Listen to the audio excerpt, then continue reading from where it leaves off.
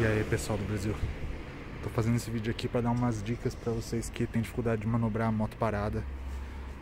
Eu tô com uma moto pesada, uma Bandit 650. Ela tá parada nesses lugares que é difícil de sair, a não ser que eu ligue a moto e saia, mas tá com a roda presa aqui nesse declive. Então eu não consigo empurrar ela se eu só levantar assim e sair empurrando.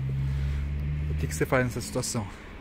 Você usa do momento do seu corpo para empurrar. Você pega assim, ó, vai para trás com o seu corpo, aí você vai repentinamente para frente, assim bem rápido e para. E aí você viu que a moto deu uma andadinha?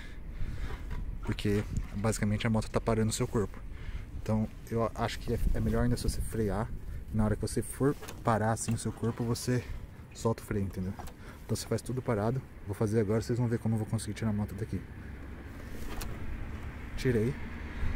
Tanto é que eu consigo andar agora com ela Andando facilmente com ela. Então, basicamente isso que você tem que fazer. Em geral, você deve aproveitar dessa dinâmica assim da, da inércia frequentemente, ainda mais com a suspensão. Por exemplo, se você está andando para frente com a moto e você dá uma freada brusca com o freio da frente, a moto vai afundar para frente. Na hora que ela der o rebote, você solta o freio e pega a velocidade para trás, assim, para fazer uma manobra.